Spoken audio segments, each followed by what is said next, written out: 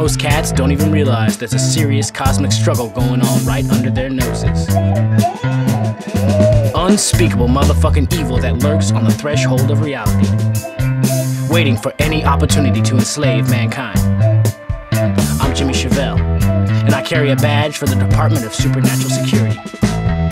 It's my job to kick evil's ass.